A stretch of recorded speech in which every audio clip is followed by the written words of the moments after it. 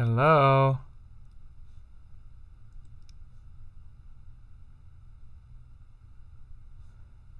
Are we live? Did we do it? Have we accomplished? Did we do it? Have we accomplished? Did we do it? We are. Have we accomplished? Hello, everybody. Did we do it? We are. Back Have to back, everybody. A double feature. Live yesterday in my kitchen, live today in the studio.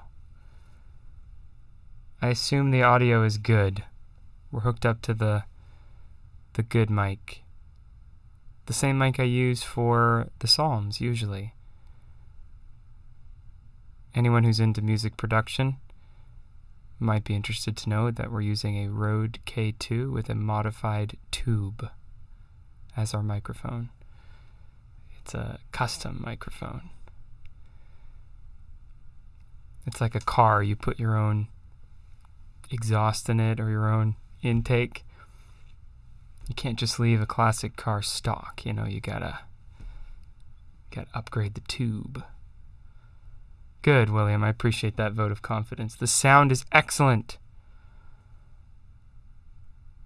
Couple other notes for any audiophiles out there. We're we're running into a Neve preamp, which is good, and we have an Avalon compressor. Sometimes people have sent me via email, what is your signal chain? That's what they'd call it. And that's the signal chain. That's what we're doing.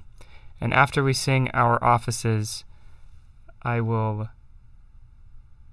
do a brief look into the software with you guys. I'll, I'll sh- share my screen and show you what some of these offices entailed for recording.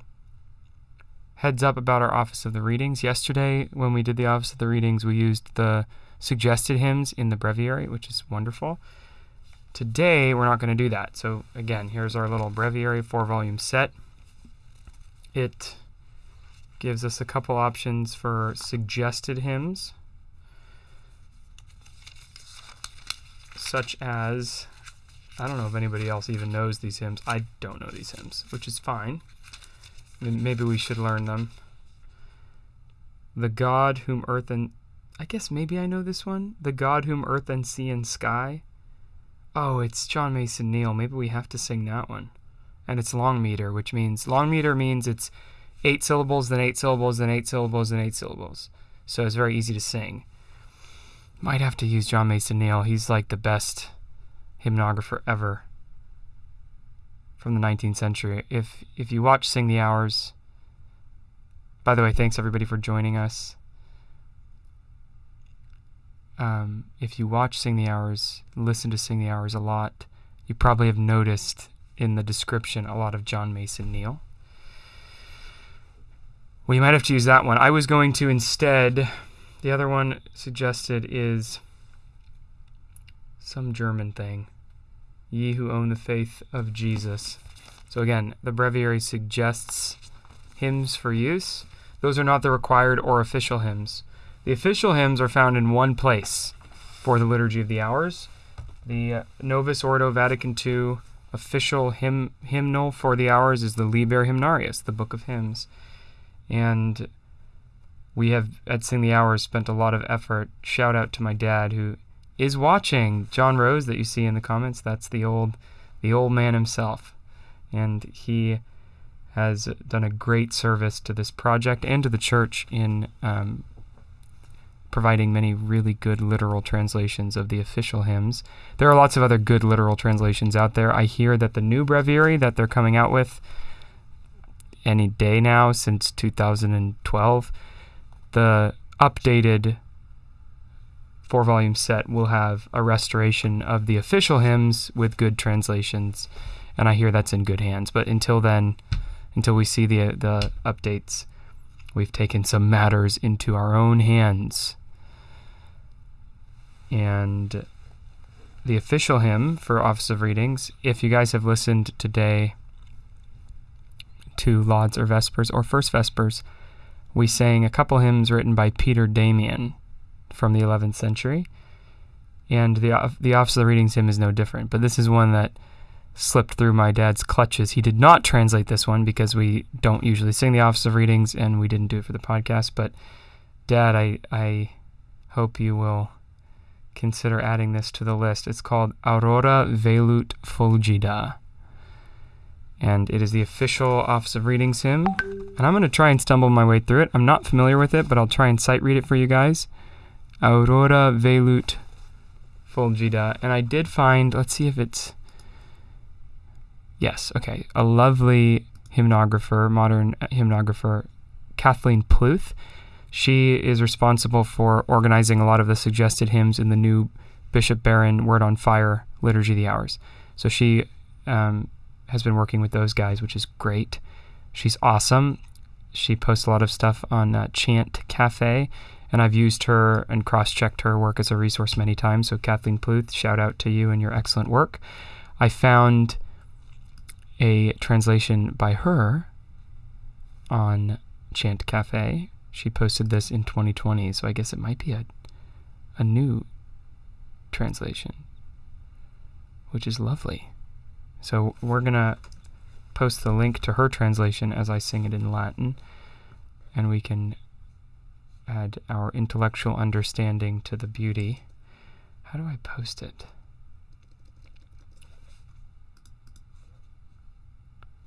I'm going to just put it in the chat. There it is, guys. There's a translation of the office hymn that we're going to use. Okay, we got 31 watching. Nice. Good. Well, we're, we're, we're going to get started really soon here.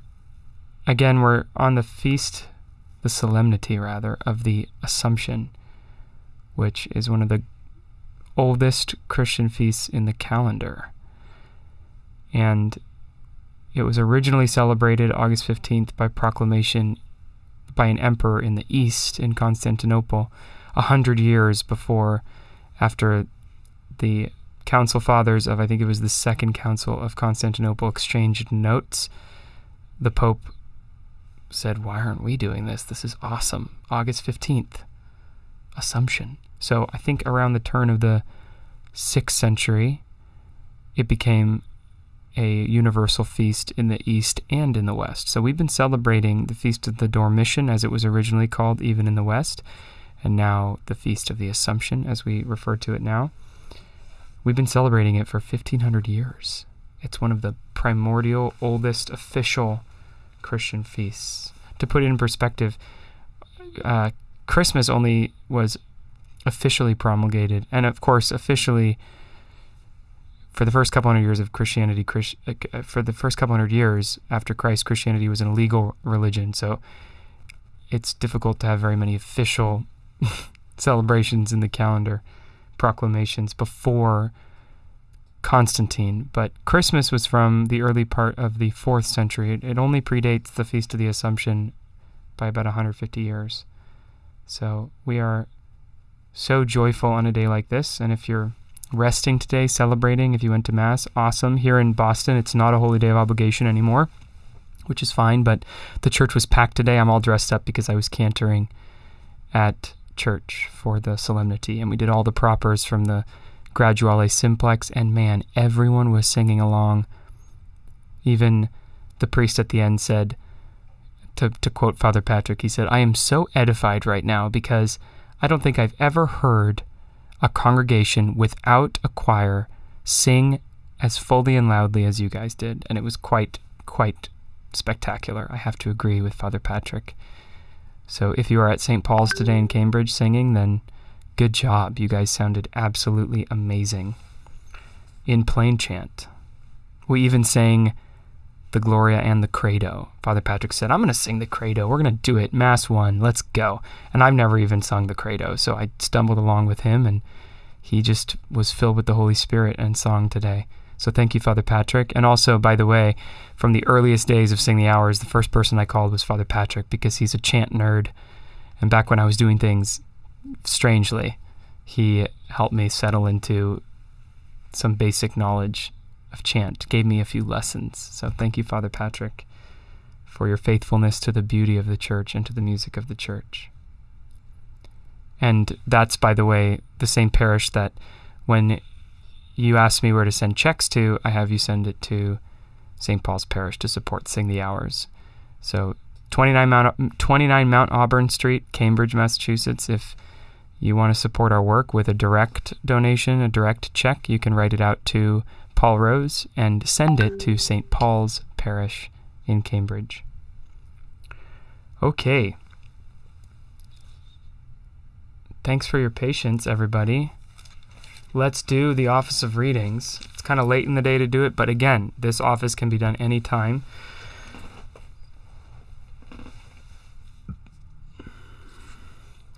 It's 4 p.m. here on the East Coast.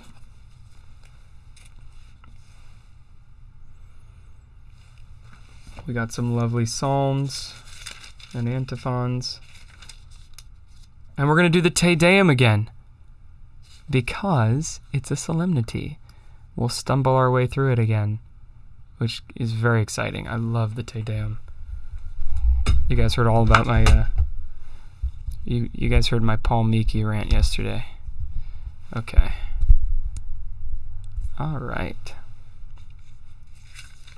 If you have a four volume set and you happen to have it in front of you, we're starting on page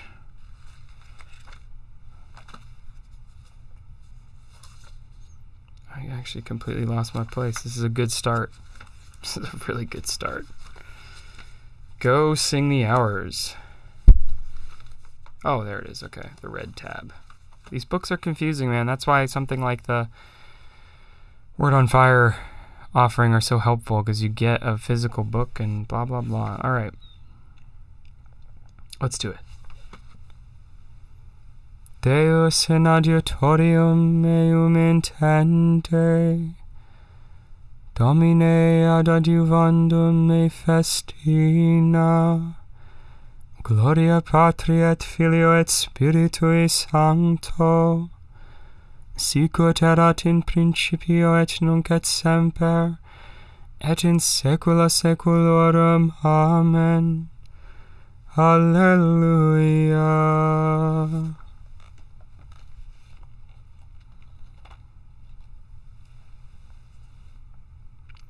Aurora velut, fulgida,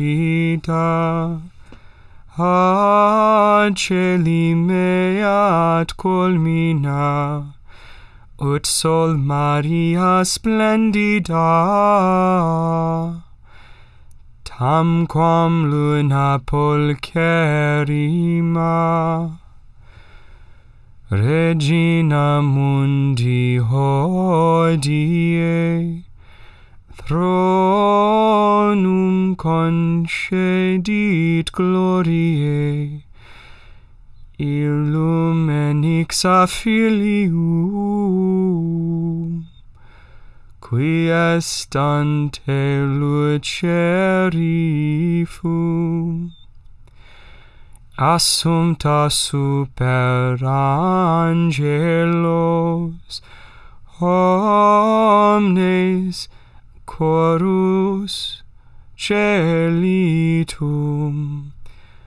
quinta sanctorum merita, transcendit una femina, quem foverat in gremio, locarat in praesepio,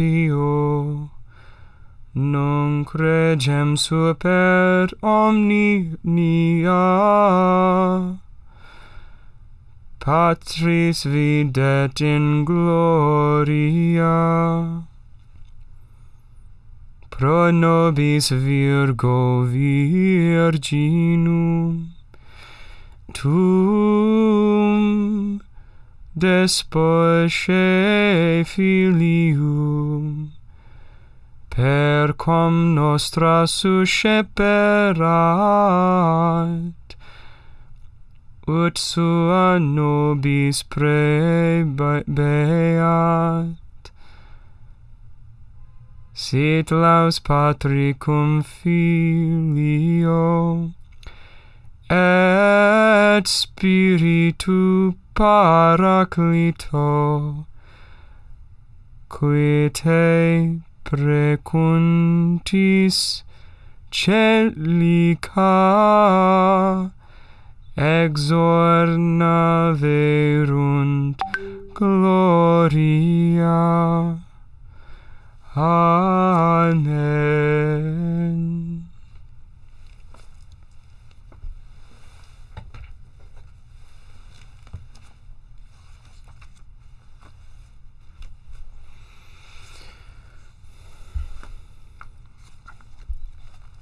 Arise, O Virgin Queen, you are forever worthy of our praise.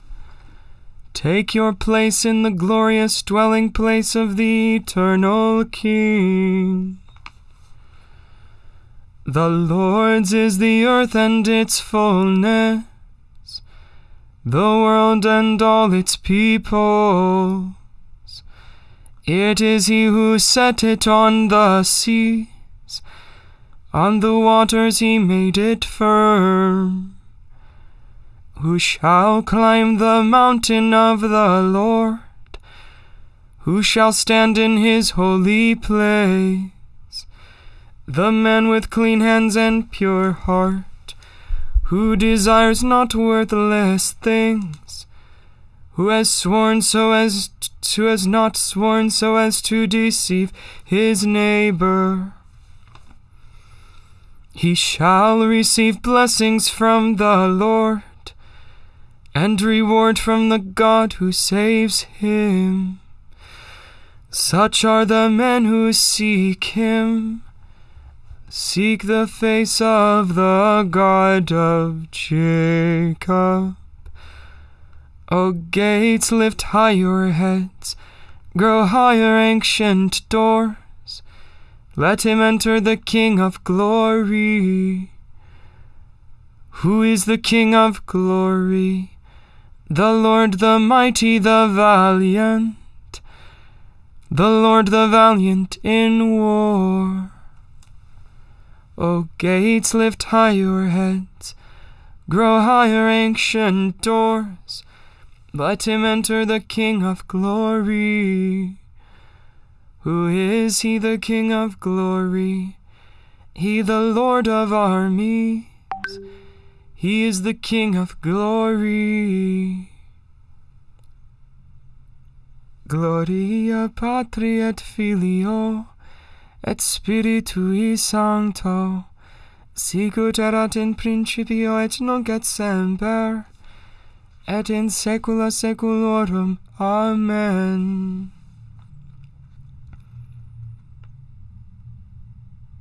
Arise, O Virgin Queen, you are forever worthy of our praise. Take your place in the glorious dwelling place of the eternal King.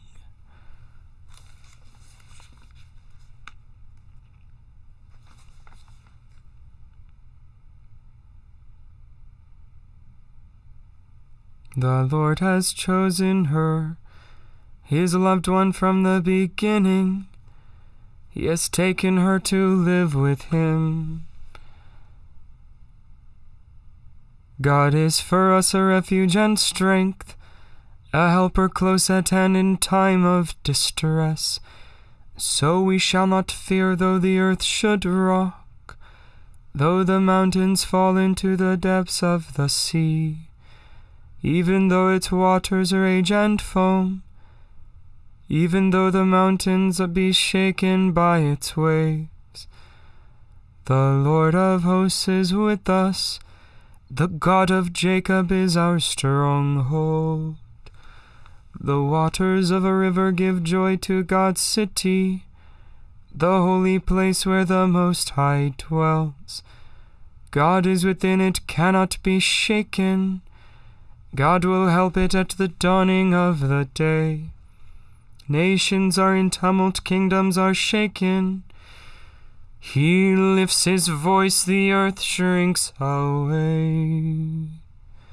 The Lord of hosts is with us. The God of Jacob is our stronghold. Come, consider the works of the Lord the redoubtable deeds he has done on the earth. He puts an end to wars over all the earth. The bow he breaks, the spear he snaps. He burns the shields with fire. Be still and know that I am God. Supreme among the nations, supreme on the earth. The Lord of hosts is with us. The God of Jacob is our stronghold. Gloria Patri et Filio et Spiritui Sancto, sicut erat in principio et nunc et semper, et in saecula saeculorum. Amen. The Lord has chosen her, his loved one from the beginning. He has taken her to live with him.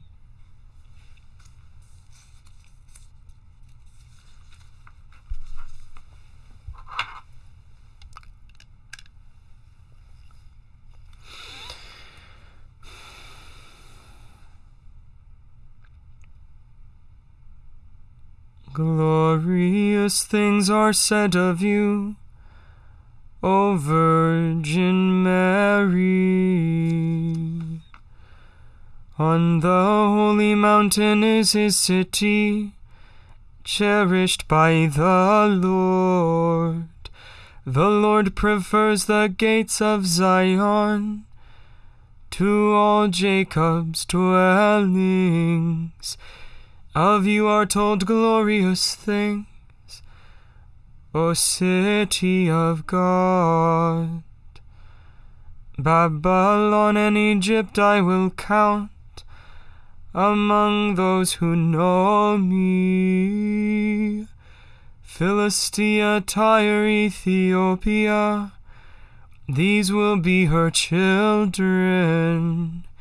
and Zion shall be called mother for all shall be her children. It is He, the Lord Most High, who gives each his place. In his register of peoples he writes, These are her children. And while they dance, they will sing in you all find their home. Gloria Patri et Filio et Spiritui Sancto, sicut erat in principio et nunc et semper, et in saecula saeculorum. Amen. Glorious things are said of you, O Virgin Mary.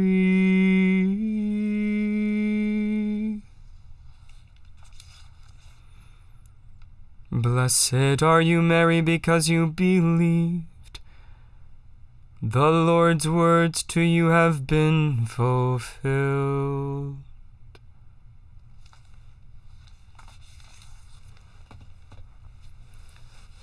A reading from the letter of the Apostle Paul to the Ephesians.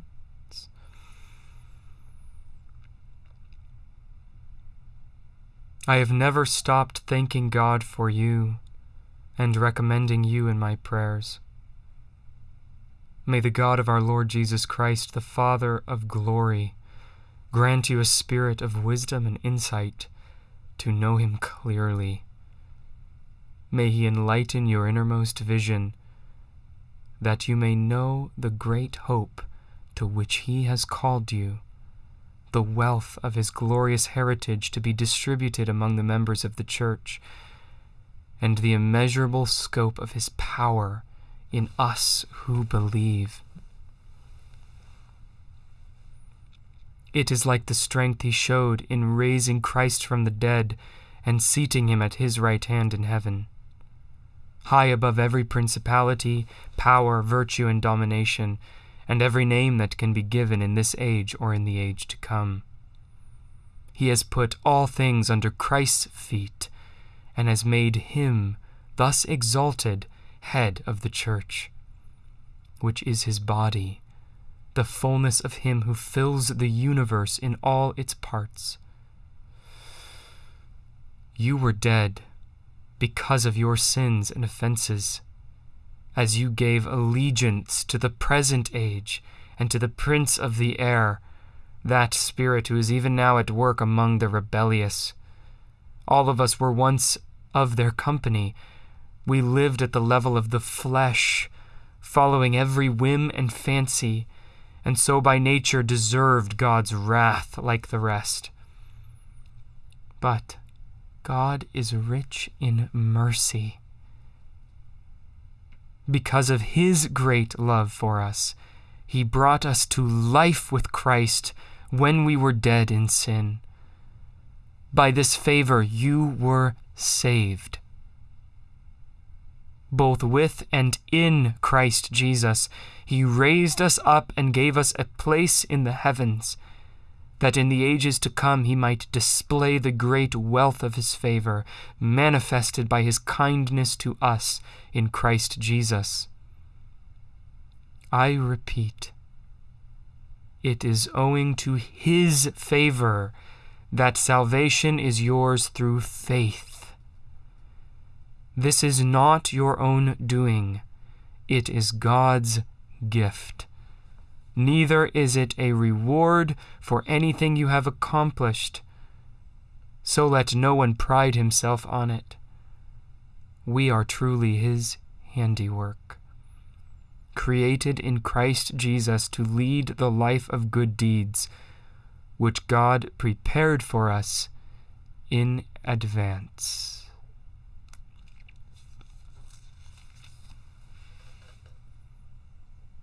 The word of the Lord.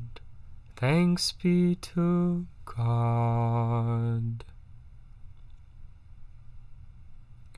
How lovely and beautiful are you, O Virgin Mary! You have left this world to be joined with Christ, adorned with heavenly power. You shine forth like the sun among the saints. The angels rejoice and the archangels sing your praises, O Virgin Mary, adorned with heavenly power. You shine forth like the sun among the saints.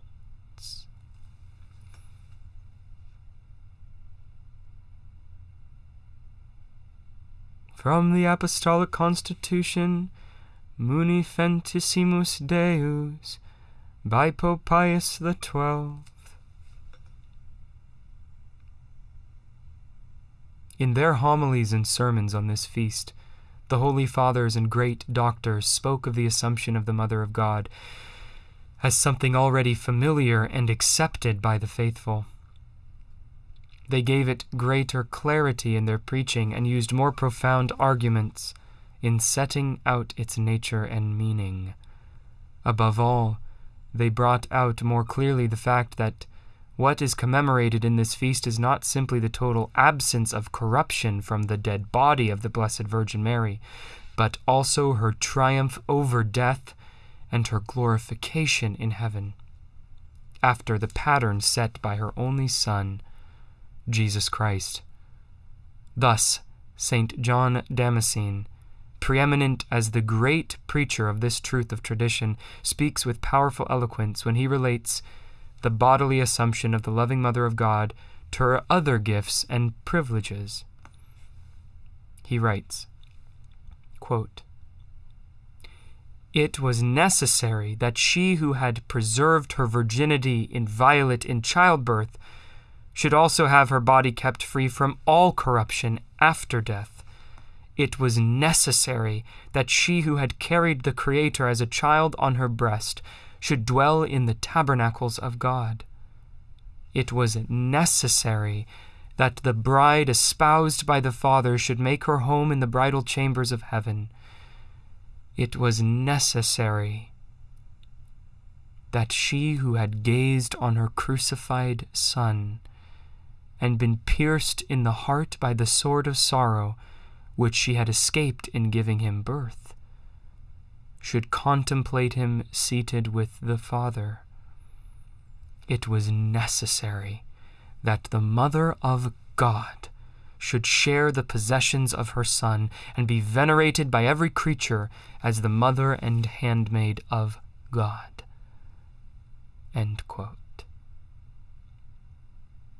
Saint Germanus of Constantinople considered that it was in keeping not only with her divine motherhood, but also with the unique sanctity of her virginal body that it was incorrupt and carried up to heaven. He writes, quote, In the words of Scripture, you appear in beauty. Your virginal body is entirely holy, entirely chaste, entirely the house of God. So that for this reason also it is henceforth a stranger to decay, a body changed because a human body, to a preeminent life of incorruptibility, but still a living body, excelling in splendor, a body inviolate and sharing in the perfection of life. End quote. Another early author declares, quote, Therefore, as the most glorious Mother of Christ, our God and Savior, giver of life and immortality, she is enlivened by Him to share in eternal incorruptibility of body with Him, who raised her from the tomb and took her up to Himself in a way He alone can tell.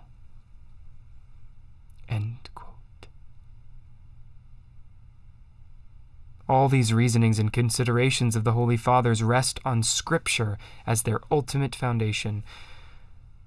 Scripture portrays the loving Mother of God almost before our very eyes as most intimately united with her divine Son and always sharing in his destiny.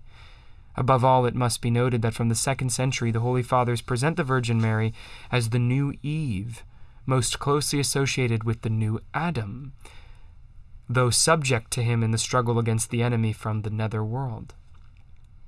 This struggle, as the first promise of a Redeemer implies, was to end in perfect victory over sin and death, always linked together in the writings of the Apostle of the Gentiles.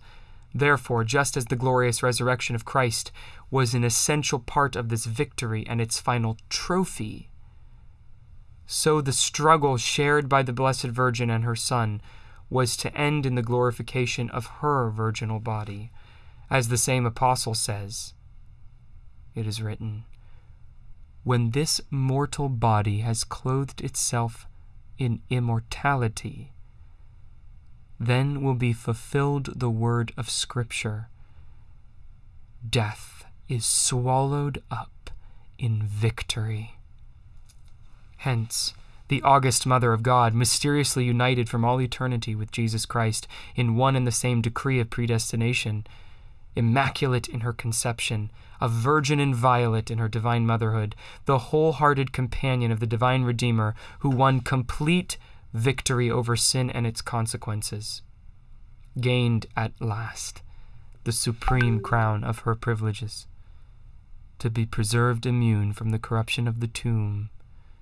And, like her son, when death had been conquered, to be carried up, body and soul, to the exalted glory of heaven, there to sit in splendor at the right hand of her Son, the immortal King of the ages.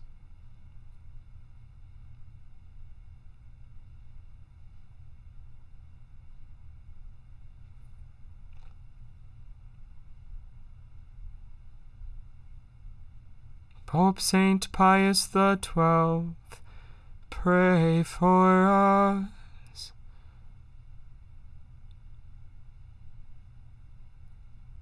This is the glorious day on which the Virgin Mother of God was taken up to heaven.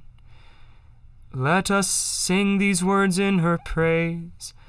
Blessed are you among women and blessed is the fruit of your womb. Blessed are you among women, and blessed is the fruit of your womb. Happy are you, Holy Virgin Mary, and most worthy of all praise. For from your womb Christ the Son of Justice has arisen. Blessed are you among women, and blessed is the fruit of your womb.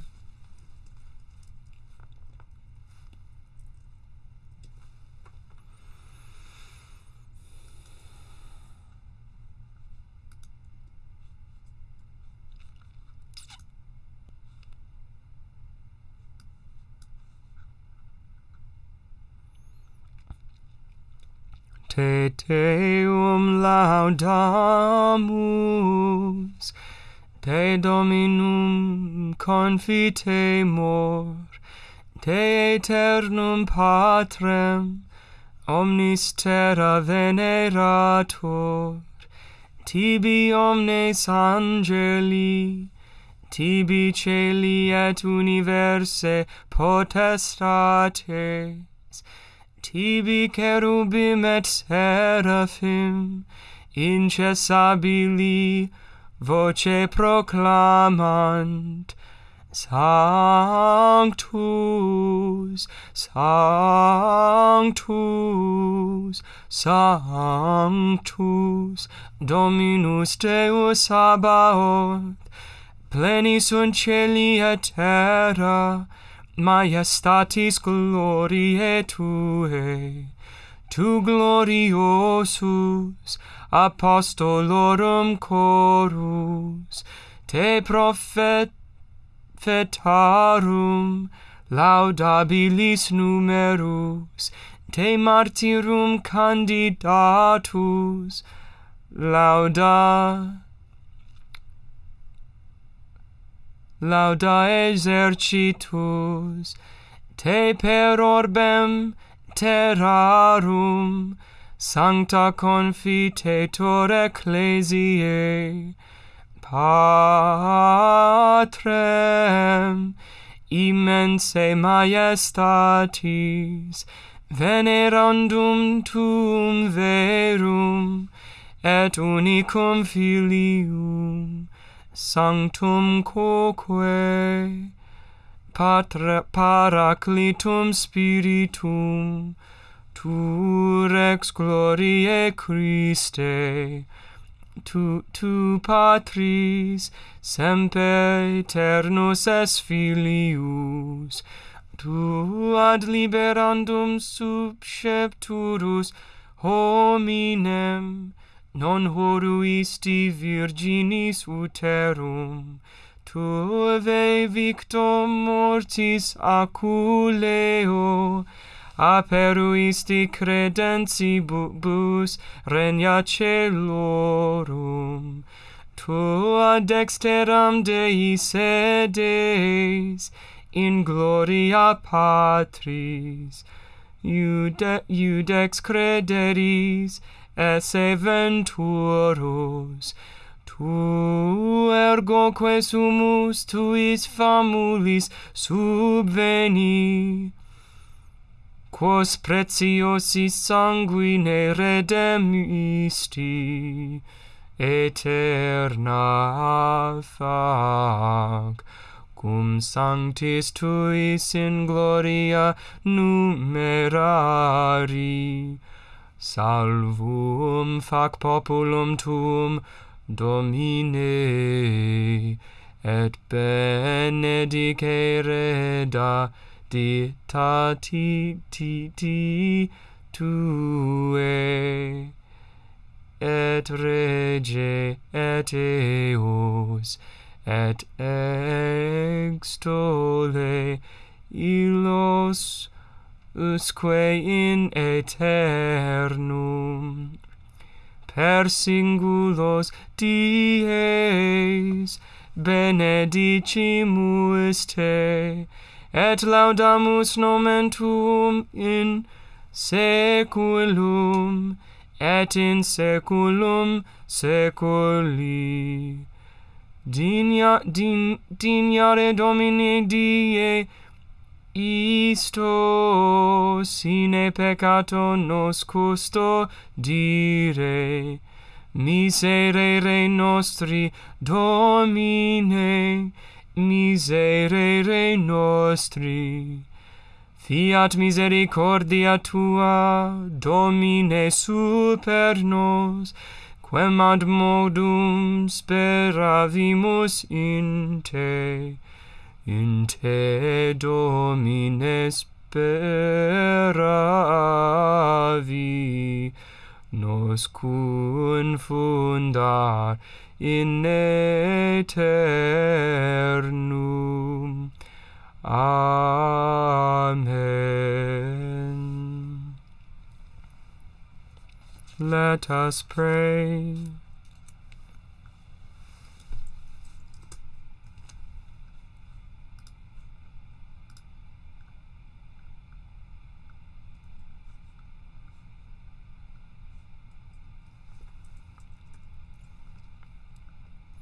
Almighty ever living God, who assumed the Immaculate Virgin Mary, the mother of your Son, body and soul into heavenly glory, grant, we pray, that always attentive to the things that are above, we may merit to be sharers of her glory. Through our Lord Jesus Christ, your Son, who lives and reigns with you in the unity of the Holy Spirit, God forever and ever. Amen.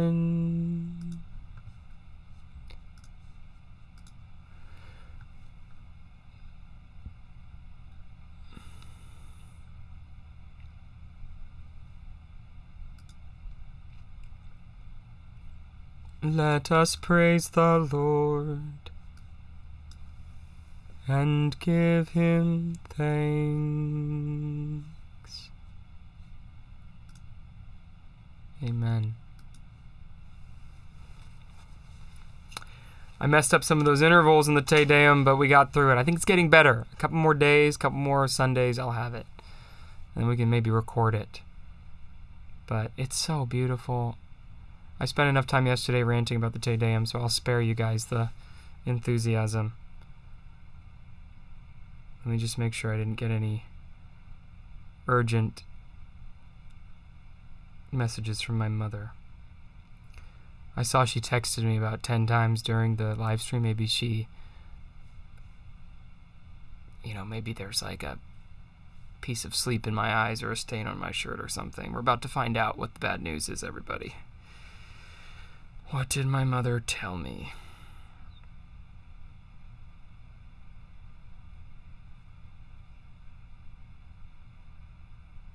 Uh, all good things. Looks like we're doing well. Thanks for the encouragement, Mama. Happy, uh, I think this might be Mother's Day in some countries. Is it? You guys can fact check me on that. I know St. Joseph's is Father's Day in Italy and a lot of other countries, but anyway, we love our mamas, earthly and heavenly. We love mamas. All right, so let's break it down. We did tone three for the first psalm, Psalm 24. That's my favorite to use with Psalm 24. And by the way, I've been doing a lot of digging, digging, digging, digging. I don't know what's going on with my diction suddenly. There are the standard psalm tones. So there's a book that was released right before Vatican II, which put all the current chants of the church in one massive volume. You can find a PDF on, of it online. It's called the Liber Usualis, just just the usual book. Can you guys see it? That's my Liber. So here's um, it's psalm tones. You guys have seen me pull this out on a live stream before. So we use tone three, which in modern notation looks like this. Wait, can you guys see it? There we go. See, this is tone three. So it would be the Lord's is the earth and its fullness. You see, you see that? And its fullness. Love that. And then you go to the second part of each line, the ending. The world and all its, or we'll do this. I, I liked ending A. The world and all its peoples beauteous. But, but, here's some crazy trivia for you guys. It's slightly different from the tonus antiquus. So the old manuscripts we find of Psalm Tone 3 are a little bit different, just a little bit. And I'm going to show you guys the truth. You guys will see the truth. Um, sometimes bad things happen to good people. The Lord's here. It is. Got it. So this is in Latin, but it's okay. You'll you'll you'll get the idea. Um, hold on, there's a knock at my door. People, so my house is always an open house. People are just running in and out. It's probably a friend of mine. Let me tell him we're doing a live. Oh, it's my uncle. So I'm doing a live stream. You want to come join? Yeah, yeah. Just just so you know, because he, he's he's okay. He he's 88 years old, people. So he might not understand that you're you're in front of a bunch of people right now. They can all see you and hear you. So you are live. You are public. You are on camera. You, you you can say whatever you want. Just you know. Snore, maybe. Don't snore. Don't snore, Uncle Gino. This is Uncle Gino, everybody. Yeah. All right. So Uncle Gino, we were just telling them about the tonus antiquus of Psalm Tone Three. He he's gonna learn like the rest of you. Okay. So um, let me share my screen here. Um, this is a really cool tool. I don't know who made this, but these people deserve $10 million. This is the most thankless work in the whole church. And it's just the greatest gift. You can plug even English into this. You, you and look, like check this out. You guys, this is insane. I can choose Psalm Tone 8, I can choose Psalm 24, and it will give me the whole sheet music of of Psalm 24. Look at that insane to that psalm tone. And then I can toggle the psalm tone. I can even do solemn tone, which would be Domini. Domini estera et plenitudo eus. I love that one. That's Psalm tone 8. You, you, you, guys have probably heard me do that on the Magnificat a million times. But anyway, so tone 3, look, uh, we'll do regular. As you can see, tone 3, just like we saw it in the Liber, the modern notation is Domini I messed that up.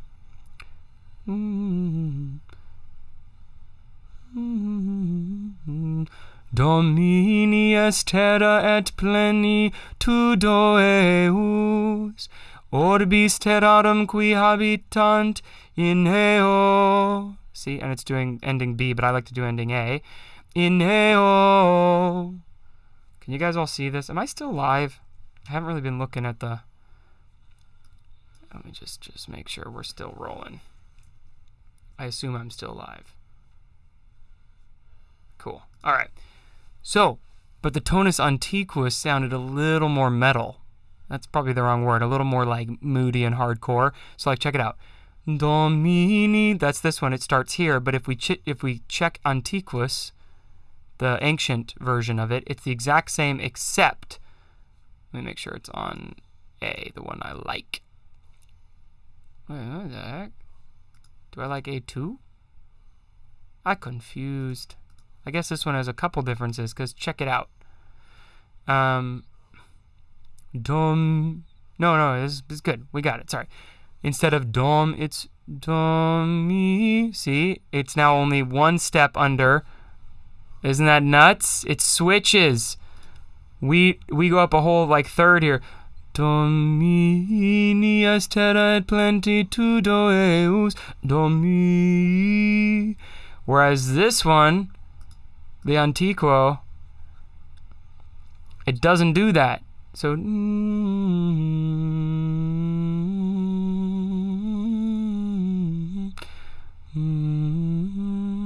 see?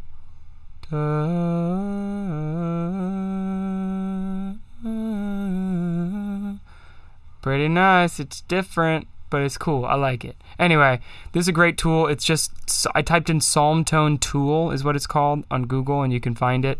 And you might you might be able to learn some Latin and some chant. It's pretty sweet. We love it.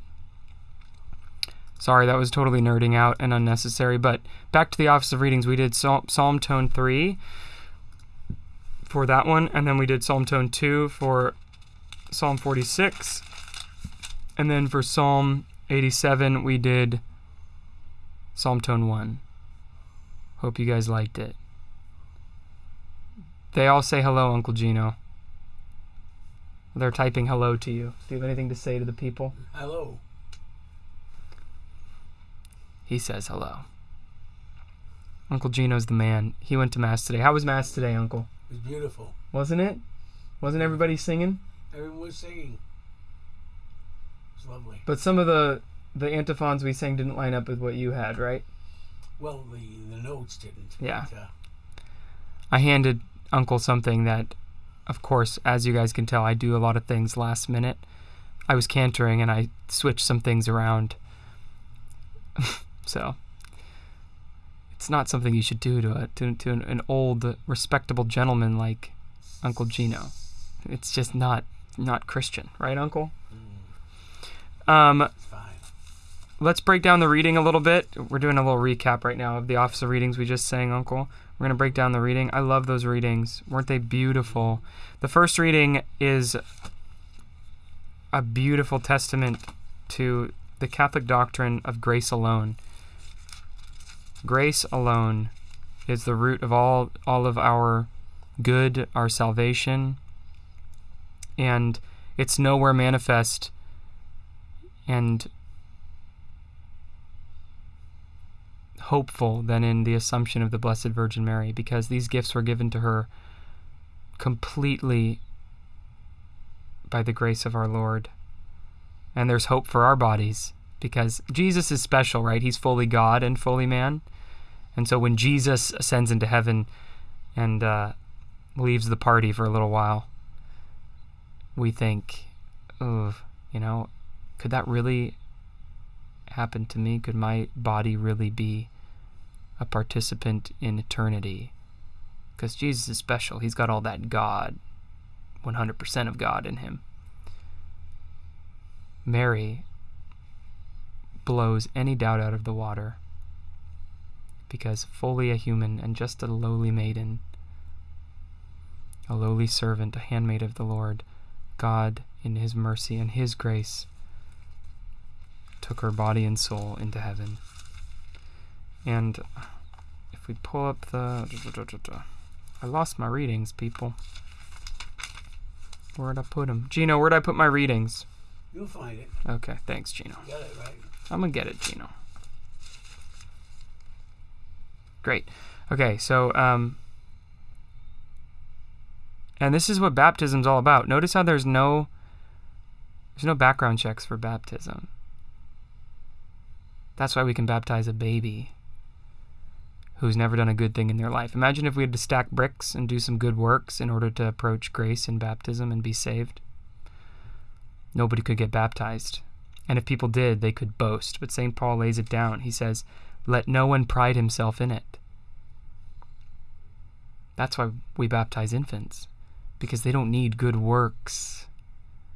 They don't need good works to be born again of Christ. It's a free gift. That's why anyone, no matter what life they lived, can get baptized even on their deathbed and receive the same heavenly reward. And that's why the Virgin Mary, despite being an ordinary girl from Palestine, was made extraordinary.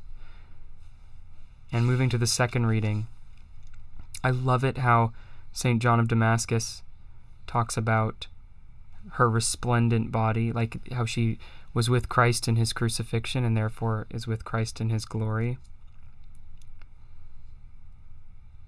I like how in the anonymous author that's quoted by Pius XII, it says, Christ raised her from the tomb and took her up to himself in a way he alone can tell. Just like there's 28, 29 years of silence in Nazareth, the family life in Nazareth was just secret, the secret of Mary, Joseph, and Jesus. And at the end, when she's brought body and soul into heaven, that's just a family secret, according to this author. It's beautiful. And St. Germanus of Constantinople is quoted as saying, Mary appears in beauty. I loved that. Still a living body, excelling in splendor. Whew. that makes me think of the, the various Marian apparitions. I'm going to share with you guys an apparition you may have not heard of before. It's one of the most famous in history, but it's less famous in terms of devotion in the West. Is Our Lady of Zaytun. Have any of you guys ever heard of Our Lady of Zaytun? So, in a suburb of Cairo, Zaytun, in the the late part of the 1960s, Our Lady appeared on top of a church in resplendent light on April 2nd, 1968. This is a modern apparition. She appeared on the top of the church. You, you guys can look it up on Wikipedia and do your own reading. I'll just briefly discuss it. You can see the image. She just appeared in light, just like St. Germanus of Constantinople said. It's Our Lady of Zaitun. And she appeared weekly in a period of two to three years, my friends. Two to three years she appeared weekly. Um, it's been approved by the Coptic Orthodox Church and the Roman Catholic Church. We also have approved it. So this is a legit, a legitimate um, apparition. It's even approved by Islam. That's how just mind blowing this apparition was, and how public the apparitions were allegedly witnessed by General by President Gamal Abdel Nasser. No device was found within a radius of 15 miles capable of projecting the image. With no alternative explanation and approval from religious and politi- political leaders, the Egyptian government, the secular and Islamic officials of the Egyptian government accepted the apparitions as true. When I was a young boy, I used to think, why doesn't Mary or Jesus just appear to the world? Like, wouldn't everybody be converted? I literally used to think as a kid if they were just on a rooftop, like if they just appeared on top of the Super 88 and down near my house. Like, imagine Gino if Gino just if, if Jesus just appeared at the Star Market, right? Wouldn't wouldn't everybody believe? No, see exactly. Gino gets it. Gino's Gino's too wise and too old to know. Not everybody would believe because I mean, it happened three years straight. Too easy.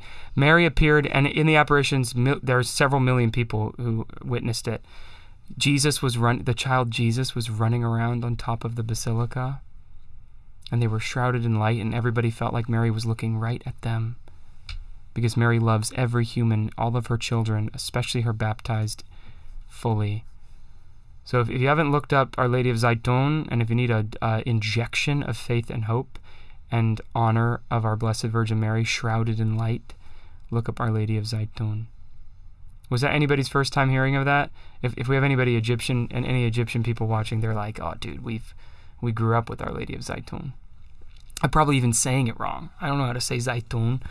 I'm adding a little twist to it. Gino, how do you say Zaytun? I think that's probably right. Zaytun is Zaytun. Yeah. My uncle's a linguist, so he Yeah. should know. Oh, he he doesn't want me to start singing his praises. He's actually my great uncle, and I would posit he's my greatest uncle. All right, let's do some Q and A. I think that's a good recap of our Office of the Readings. Um, do you guys want to do a little bit of Q and A? We've already been going for almost an hour. We got about 50 people watching right now. Already a thousand people have watched our live stream yesterday. So, I mean, if you have questions in the future that you want to be discussed on live stream, just email them to us. Chelsea mined the email for me today on very short notice because once again, I'm a crazy person. And uh, so thank you to Chelsea Morris. Keep Chelsea in your prayers. Chelsea's the best. And she um, has seven questions for me here from our email and comments. And we'll start with these, okay? So, question one from Sean Doyle. He says, I'm wondering about the settings you use for the antiphons and psalm verses. I'm aware of a couple of existing settings, such as the Mundelein Psalter. It doesn't sound like you're using that. It sounds like you're using Gregorian psalm tones, but maybe modifying them. Are you harmonizing them yourself as well? How do you decide which tone to use for each psalm, or do you have a resource you're following? Amazing questions. Let's take them one at a time. Number one, I'm using Gregorian psalm tones primarily, and a few psalm tones that we made up, which are Eastern in their modality. So, like for sometimes, and I, I actually got another email, which I'll just throw into this one, from a woman who asked what psalm tone I was using um, last week. I forget for which psalm, but let me show you. One of my Eastern ones sounds like this. I'm sure you guys are familiar with it. Um, we'll sing it in daytime prayer in a minute, but I'll give you a little sneak peek. So let's pull up daytime prayer. We're going to do cycle three of daytime prayer, optional, the complementary psalmody. All right, so let me find it. All right. Mm. Now I'm forgetting my own tune. Just give me a second. Geno, I'm a miserable failure. Here we go. Uh, the. What? What? There it is. When the Lord delivered Zion from bondage, it seemed like a dream. Then was our mouth filled with laughter. On our lips there were songs. So that's one that we do, an Eastern one. And I probably picked it up from somewhere. I used to go to a lot of Orthodox services, a lot, a lot of Byzantine services. Shout out to the Church St. Basil's in uh, San in Los Gatos, California, Byzantine Catholic. Oh my gosh, you formed me liturgically. Beautiful. If you ever visit San Jose, check out St. Basil's. Beautiful liturgy.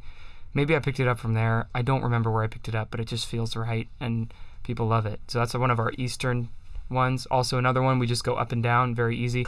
When the Lord delivered Zion from bondage, it seemed like a dream. Then was our mouth filled with laughter, on our lips there were songs. Easy. And then sometimes you can go even further down. The heathens themselves said, What marvels the Lord worked for them. What marvels the Lord worked for us. Do, do, do, do, do. And that Eastern like tone I got from my Uncle Frank when he and I used to call each other up eight years ago and sing The Office every day. He's the one who I would say he's my spiritual father musically. He lives in Portland, Oregon. Extremely faithful man. Keep him in your prayers. Frank. And uh, he's his nephew. This is Uncle Geno's nephew, my mother's brother.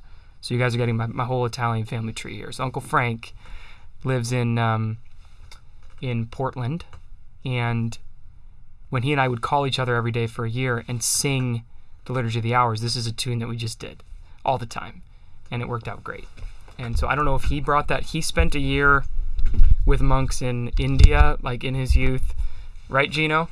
Yeah, and I, he that's one of the places where he learned chant and fell in love with chant. So this might be something used in India. I have no clue, but I got it from Uncle Frank, and that's that. And then the third Eastern one that we do sometimes is um,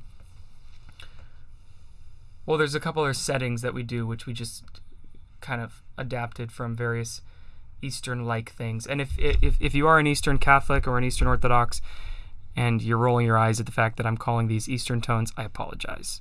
I'm I'm appropriating your musical tradition, perhaps, but hey, if it uh, if it follows an internal logic and it's done in plain chant and it's beautiful and true and carries the psalm tone tune, then like let's do it, right? Um, that's just from my ignorant perspective. They are Eastern. Another one is uh, like, Give thanks to the Lord, for he is good. When the Lord delivered Zion from bondage, it seemed like a dream. Then was our mouth filled with laughter.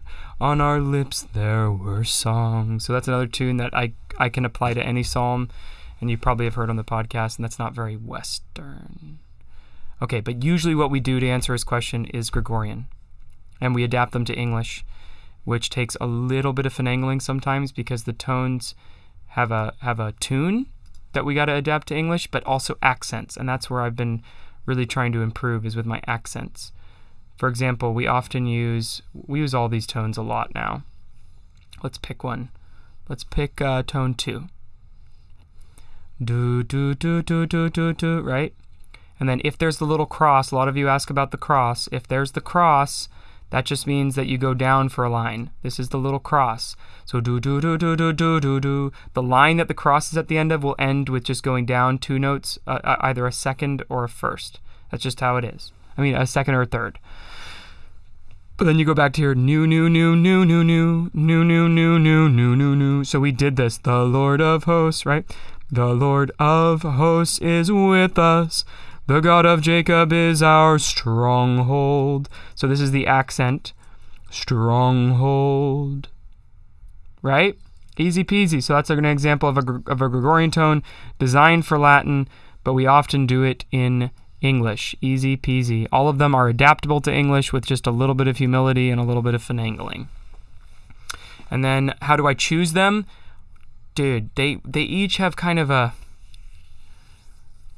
each tone is like a, a spiritual quality to it, wouldn't you say, Uncle Geno? Like Geno, what what emotion does this give you? You ready? Close your eyes. Geno's gonna be our guinea pig. Geno, Geno, I, I need you, man. You gotta spot me. You ready? What uh, emotion does this give you? When the Lord delivered Zion from bondage, it seemed like a dream. Emotion, go. A hope. Okay, how about this? When the Lord delivered Zion from bondage, it seemed like a dream. Yeah. A, a blissful. More blissful, yep, absolutely. That's a rejoicing psalm tone. What about this one? When the Lord delivered Zion from bondage, it seemed like a dream. more uh, thinking of something in, that happened in the past and that was no longer. So longing or like Longing, like right, reminiscing or yeah, yeah. this is the, the that's the ninth tone as you would say tonus peregrinus. Or we could do um when the Lord mm, when the Lord delivered when the Lord delivered Zion from bondage it seemed like a dream. Then was our mouth filled with laughter on our lips there were songs. What about that one Geno again uh, again is more uh, longing and yearning Sure. Or or even that one is kind of like it's just recounting the facts. It's very like it's very neutral. That's a neutral round. It's round and neutral. Also, Geno, this one is is an epic one. What do you think about this one? When the Lord delivered Zion from bondage, it seemed like a dream. What about that one?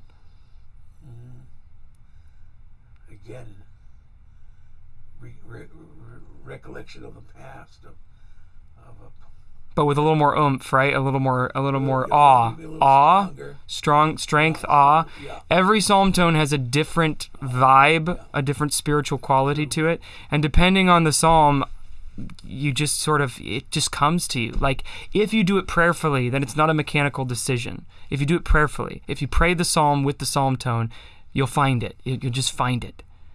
But you can technically do any psalm with any tone, as this tone generator shows. Check it out. Um, oh, here's the Kathleen Pluth hymn. Where's our tone generator? So Psalm Tone Tool.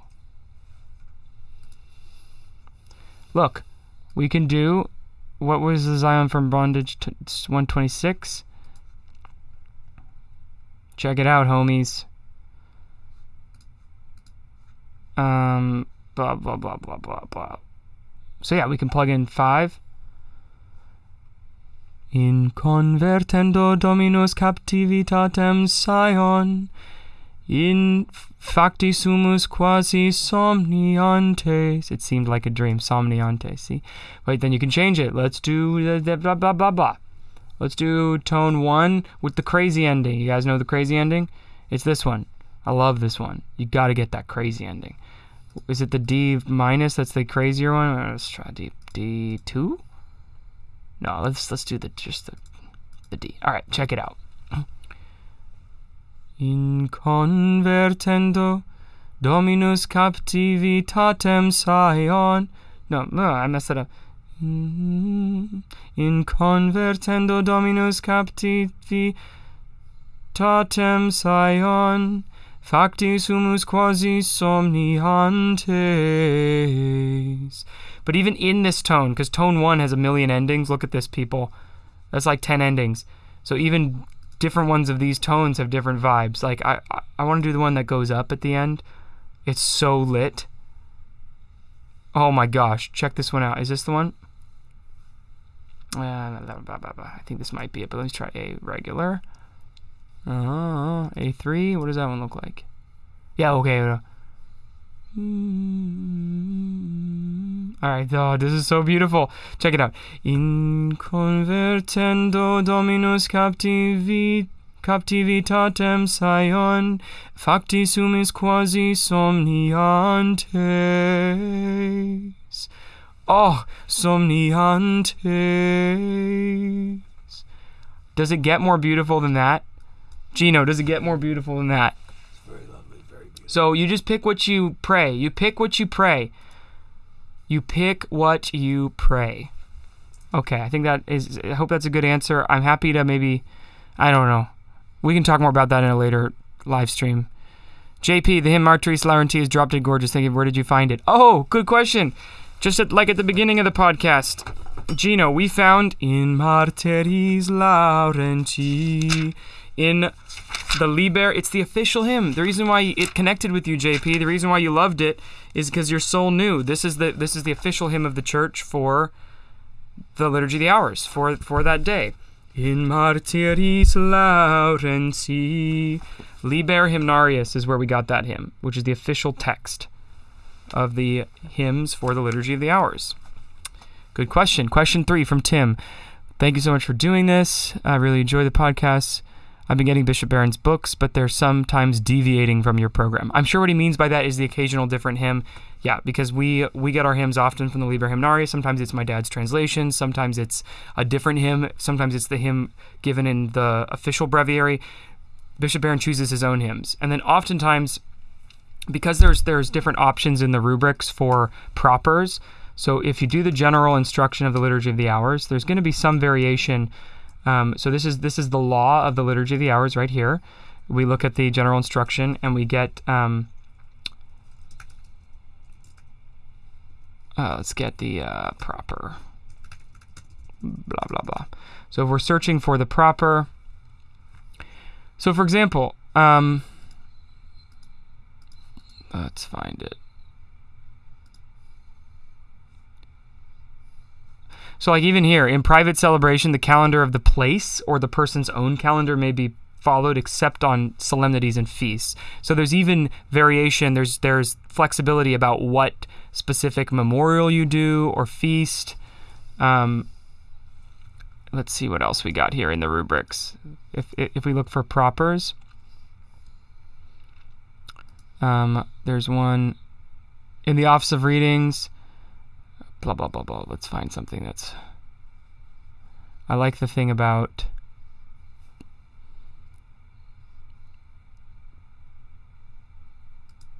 Whoops, that's my email. I'm clicking weird things. Here we go. Proper general instruction on the liturgy of the hours. Let's get back to that. Sorry for the roundabout. Um, what what were we looking for? We're looking for.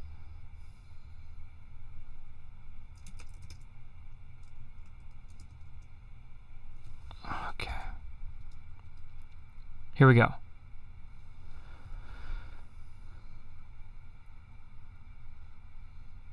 On memorials without proper antiphons, for example, the antiphon may be taken at will either from the common or from the current week.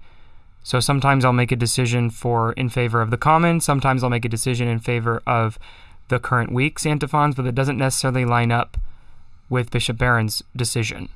So they'll they'll make an arbitrary decision because in, this particular issue there's no preference given. It's just at will. They can be taken either A or B, which is frustrating in some ways because then yeah, you're confused. Where am I getting this?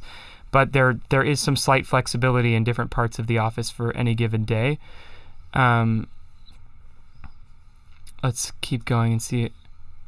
So here we go. Proper readings are assigned for solemnities and feasts, otherwise, the readings are taken from respective commons of saints. But on that note, we have right here um, the antiphon of the invitatory, the hymn, these are the parts that will be different. This 235b gives the most flexibility, everybody. As it says, if you guys can read it. Hopefully, the whole thing is in the screen. The antiphon at the invitatory, the hymn, the short reading, the antiphons at the canticle of Zechariah and of Mary, and the intercessions must be those of the saint if these are given in the proper. Otherwise, they are taken either from the common or from the current week and day. Either from the common or from the current week and day. So if we have a memorial, when is the next memorial? Let's look in our calendar.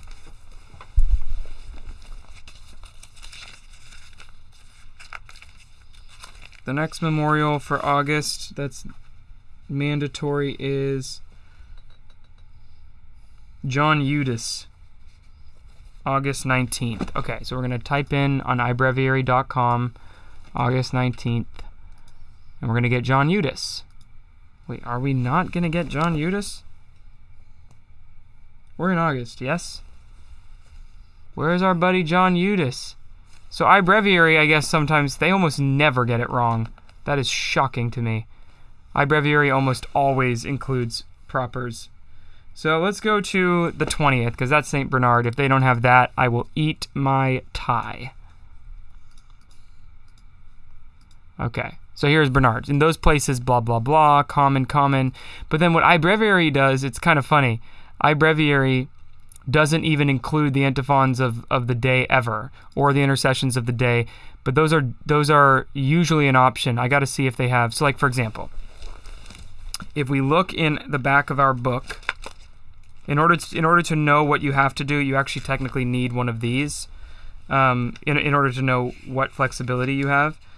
Um, so in st bernard's feast on the 20th in a few days it has no proper invitatory antiphon at the beginning. There's no invitatory antiphon mandatory. It simply says use from the common of doctors or from holy men religious, which is why up here it says you can, you can do any of these three antiphons, but iBreviary is actually wrong because there's a fourth option. It's is that you can also use the antiphon of the day.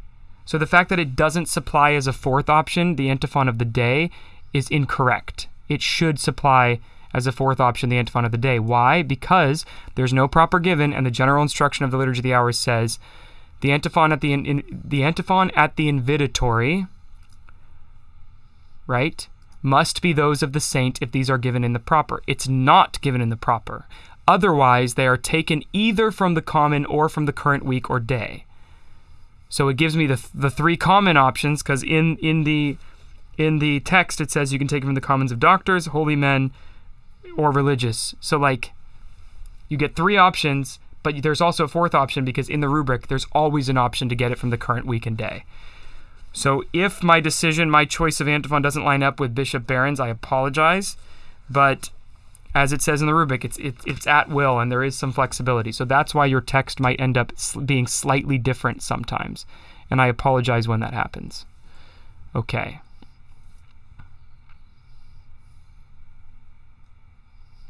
All right. Uh, we don't have much time left. I mean, I'm going way. I thought I'd do this for maximum 45 minutes. We are just going on. This is like an all day live stream. We love it. Okay, so a couple of other things. Um, question four Can you please make more tracks with the hymns you sing that are separate from the prayers so we can practice too? Yes, we will. Support us. I need to, I got to hire some people, people. People, we, we need some engineers in the studio. I mean, I'm putting Uncle Geno to work, right? And I'm kidding, Uncle. So we need help. So please support us on Patreon. Thank you to everyone who has been supporting us. We have over 300 people. You guys are rock stars. We are able to invest in high quality equipment, but but we really need help personnel. We need to be able to expand our team so we can get this work done. Okay, number 5. Have you ever considered releasing some more tutorials, perhaps as a paid feature for patrons on Patreon? My kids and would and I would love to learn to be able to sing along with you. This is kind of a tutorial. Question the answer is yes, Alex. And the tutorials will be more organized as I get more help. I need like three production assistants. Make that 10. We need an army, right? King David had like uh, 200 singers in his choir. I need like at least one more. Okay? So let's do it. Question number six. I heard that you are starting to visit parishes to give in person lectures and sing the prayers live to help us all learn. Are you willing to travel to do this? How might we set up that set that at our parish? Yes, I will come to your parish. Let's do it. Send an email to singthehours at gmail.com. I, I have flown out for talks at parishes. We'll do Liturgy of the Hours on a Sunday We'll, because we we got to get it on the parish level. Sacrosanctum Concilium Vatican II wants it in parishes, so we got to do it in parishes. We can't just listen to it on our own at home forever. We got to bring it into the body of Christ in a tangible, structured way. That is the vision of the council and the will of the fathers. Question seven from Patty Patterson. I'm a cradle Catholic. I would like to know how you learned the Latin language so prolifically and so intelligently. How can I learn? I think you just got to practice. Um, I learned because my mama is a genius and she's Italian and she went to Boston Latin School and she drilled it into us as kids and because her great uncle her uncle Geno is a linguist and Geno correct me if I'm wrong but you helped my mother study her Latin when she was in high school. I did. She would come home right. and Uncle Geno is the man. So for the real answer, the real honest answer to Patty's question is how do I know Latin? Easy. Uncle Geno. Thanks, Uncle. You saved the world. Okay. Let's see if there any other questions came in during the stream. I don't want to miss any.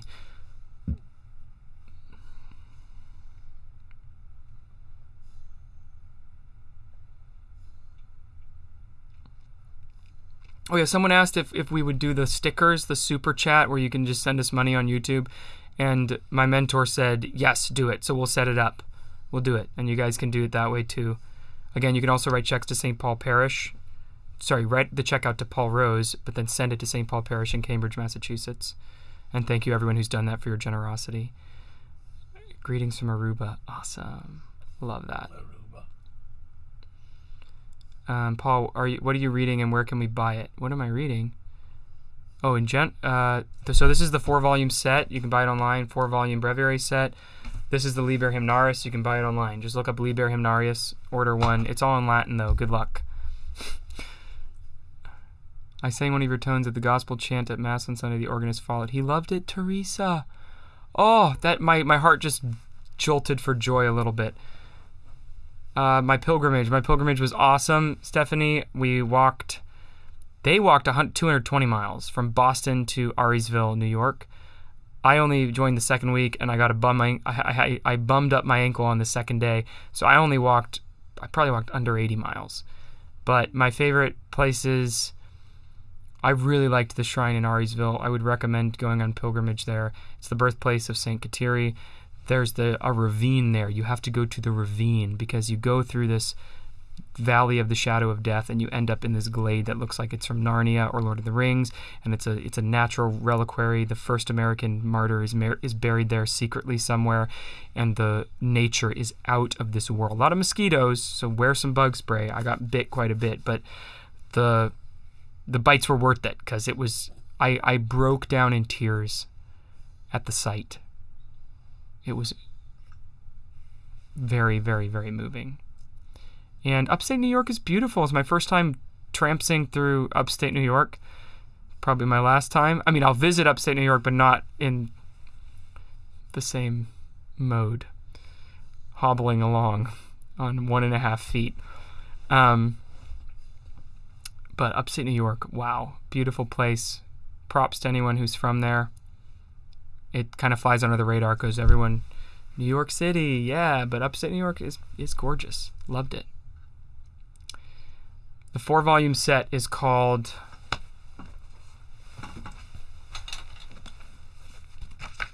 It's called The Liturgy of the Hours. The Liturgy of the Hours? That's what it's called. Can't miss it. Fair warning, they've said since 2012 that they're going to come out with their new edition of these books of the official prayer of the church. Translation is going to be different. This will be rendered obsolete.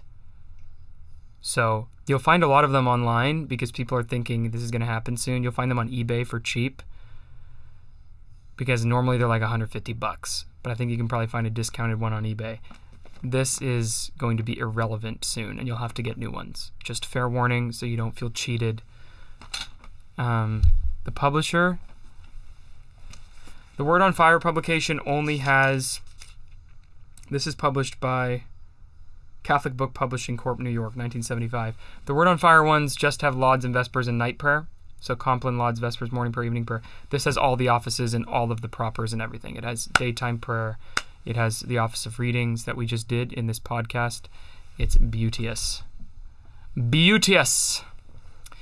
Saint Cecilia watching over us. Uncle Geno watching over us. I love Uncle Geno. Okay. All right, peoples. Let's do daytime prayer and close. Any final? Oh, yes. My dad put in the comments pray for the translation process. Pray that we get a really good breviary for the next 50 years because this is this, this is going to be status quo for decades when it's done and they're they're working on it really hard people in the church. It's kind of a secret affair. I don't know who's working on it but whoever is needs our prayer so please pray for it. It, it will guide the spiritual sensibility of the church for the next half a century at least. Thank you all for chatting. 90 minutes. Wow we we really this is a live stream to end all live streams. I want to start doing some interviews. If there's people you want me to interview, live stream, discuss, chat, we would we'd, we'd love your suggestions. Email us singthehours at gmail.com. Or if you know somebody or if you want us to be on your show or something, it's um, $10,000 if you want Uncle Geno to join on the show.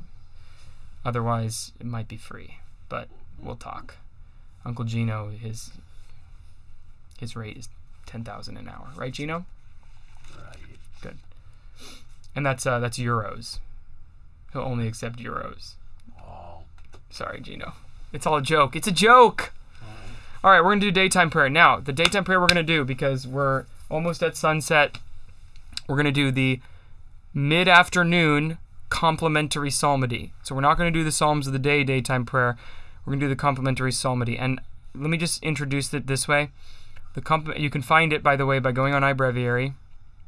See, go on iBreviary. You do daytime prayer. Wrong day, but it, it'll be the same every day.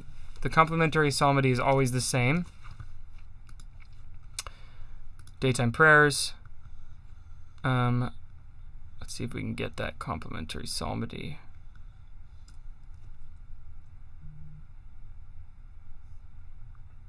Yeah, here it is. So Wait. What? There's four psalms. Maybe because it's a solemnity.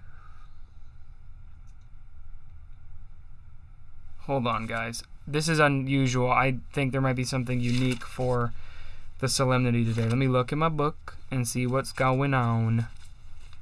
What is going on? Daytime prayer, gradual psalms. Okay, so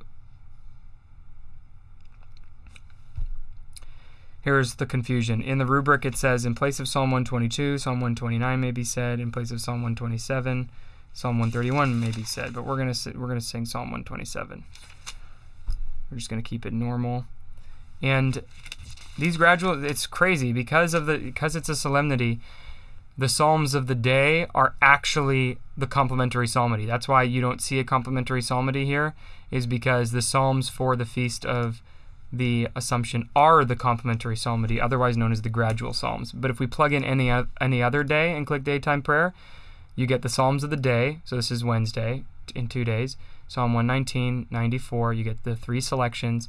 But then at any odd hour of the day, meaning if you do it at any time that's not 9 a.m., noon, or 3 p.m., if you want to do additional prayers, you can do at any hour in the morning, 8 a.m., 10 a.m., 11 a.m. You can do these three psalms, the series one mid morning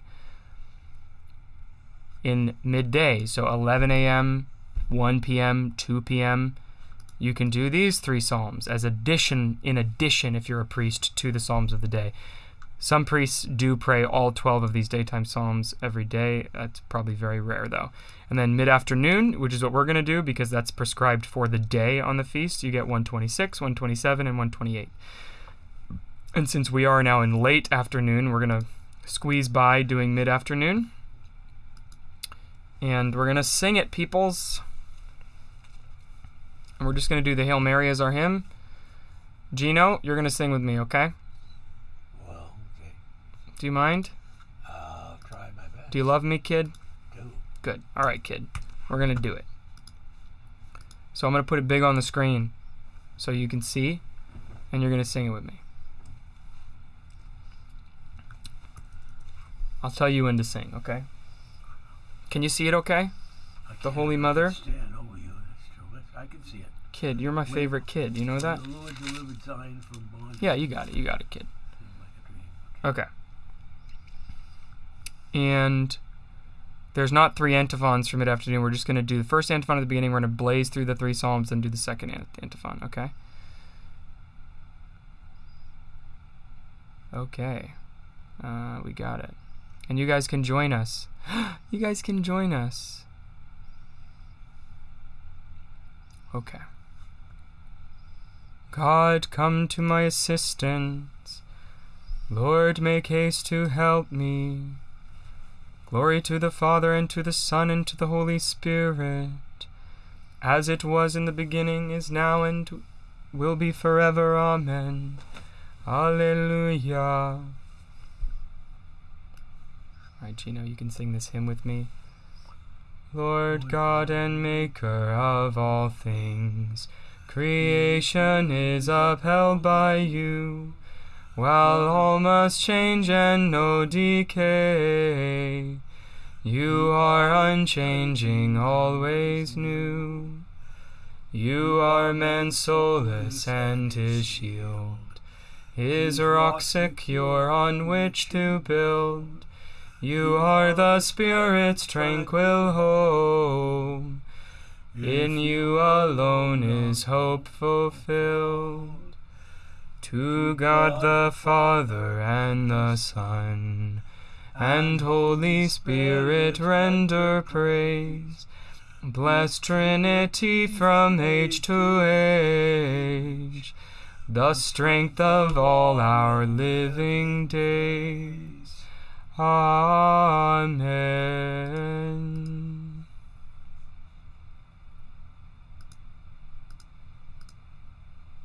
All right.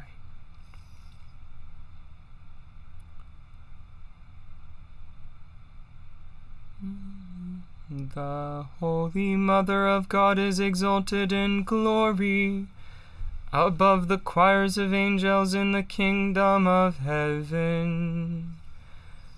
The Holy Mother of God is exalted in glory above the choirs of angels in the kingdom of heaven. When the Lord delivered Zion from bondage, it seemed like a dream. Then was our mouth filled with laughter, on our lips there were songs. The the heathens themselves said, What marvels the Lord worked for them! What marvels the Lord worked for us! Indeed, we were glad. Deliver us, O Lord, from our bondage, as streams in dry land.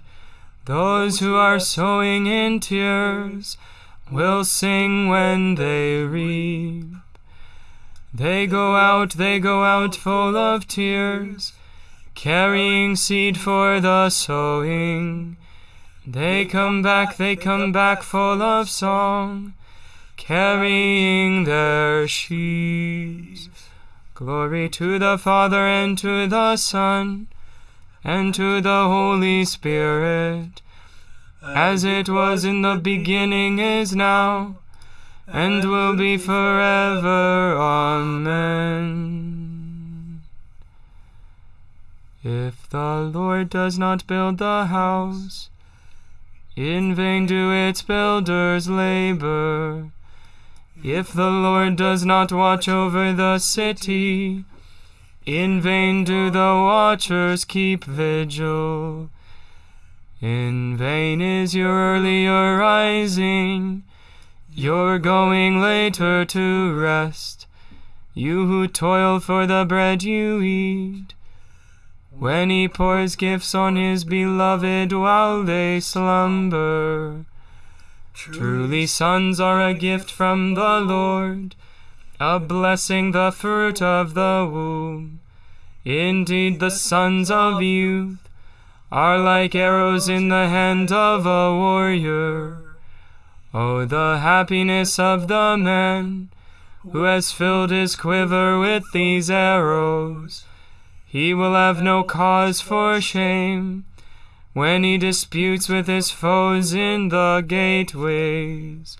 Glory to the Father and to the Son and to the Holy Spirit, as it was in the beginning, is now, and will be forever. Amen. Oh, blessed are those who fear the Lord and walk in his ways. By the labor of your hands you shall eat. You will be happy and prosper. Your wife like a fruitful vine in the heart of your house. Your children like shoots of the olive around your table. Indeed, thus shall be blessed the man who fears the Lord. May the Lord bless you from Zion all the days of your life. May you see your children's children in a happy Jerusalem. On Israel, peace. Glory to the Father and to the Son and to the Holy Spirit, as it was in the beginning, is now, and will be forever. Amen. Together, Geno.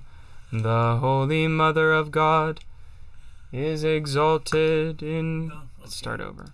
The Holy Mother of God is exalted in glory above the choirs of angels in the kingdom of heaven. You can take the reading, Geno. I've highlighted it. read it. A reading from the second epistle of St. Paul to the Corinthians. We know that when the earthly tent in which we dwell is destroyed, we have a dwelling provided for us by God, a dwelling in the heavens, not made by hands, but to last forever. Amen. The word of the Lord. The, the Lord of the Lord, Thanks be to God. Thank be God. The Virgin was taken up to the heavenly bridal chamber. Where the King of Kings is sealed on a heavenly throne. Let us pray. Almighty ever living God, who assumed the Immaculate Virgin Mary, the mother of your Son, body and soul into heavenly glory, grant, we pray, that always attentive to the things that are above, we may merit to be sharers of her glory through Christ our Lord. Amen. Let us praise the Lord. And give him thanks. In the name of the Father, the Son, and the Holy Spirit. Everyone say thank you to Uncle Geno. Let's let's give him props for singing the office. Geno's the man. They say hello from Poland. Poland. Yeah. Poland, Africa, Holland. Very impressed. Lovely. Very Geno's sister in law is Polish. She's my Aunt Sandy. We love Aunt Sandy. All right.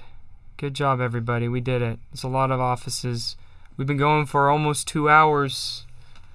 Send emails to Chelsea if you want questions answered. We love you guys. Happy feast. Happy solemnity of the Assumption.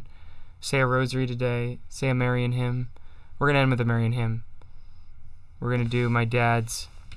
We'll do it in English and Latin and then in English. The um, Regina Caeli. Let's see if we can put the link. I wonder if my dad posted it somewhere for the people back at home. Dad, is the Regina Caeli on your blog? I don't know. We're gonna just go for it.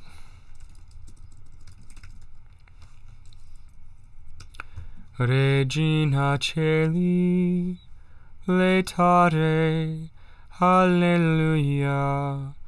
Quia quem meruisti portare, Alleluia.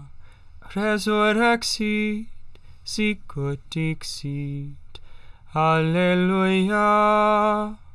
Ora pro nobis Deum, Alleluia. O Queen of Heaven, take delight, Alleluia. He whom you merited to bring to birth, Alleluia. He is risen just as he said, Alleluia. Pray for us to God, Alleluia.